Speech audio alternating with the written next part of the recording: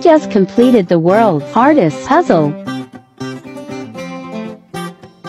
I broke my arm so was imprisoned in my house for the week.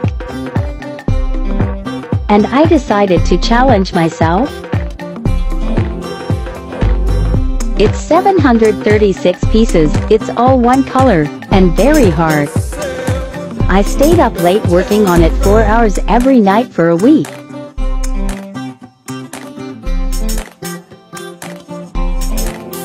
Still going.